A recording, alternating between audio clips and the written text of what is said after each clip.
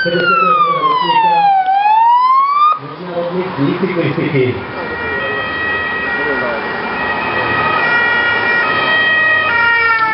Takže, vážení športoví priatelia, 51. ročník Medzinárodných dní cyklistiky o malú chvíľu spodná víťaza.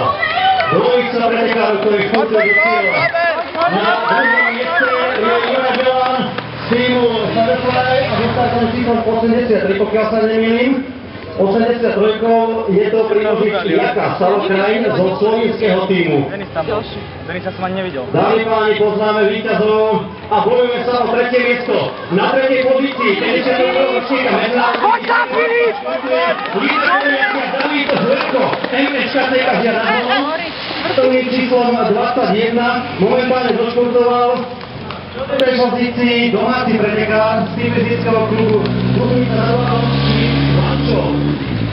50 lidíčov skôr porazených, ale teraz ďalší, ale ja Môžem vám pochváliť slovenských cyklistov, pretože celkový víťaz podľa všetkého David Zverko udržal dres lídra pretekov 51. ročníka. Juraj Belan odvedol skvelú prácu takisto. Žiaľ, nevydal to na ten víťazný škúr.